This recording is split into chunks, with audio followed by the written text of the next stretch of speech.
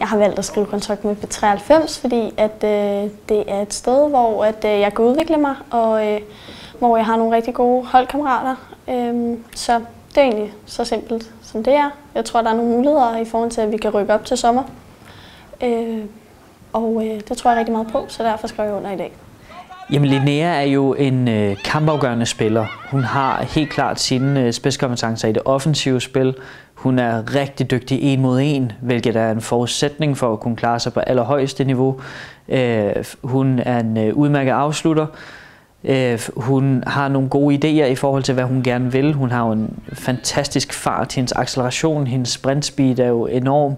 Så at have hende i genpresset og også i presset, fordi hun er en hårdt arbejdende spiller, det, det gør jo, at, at vi har en rigtig, rigtig farlig spiller, og på hendes gode dage, der er hun, øh, der er hun kampafgørende, der er hun næsten ustyrlig. Den giver selvfølgelig en masse motivation til mig, øh, og øh, viser os, at øh, trænerne og generelt bare hele staben, de øh, tror på mig, øh, og det er selvfølgelig rigtig vigtigt.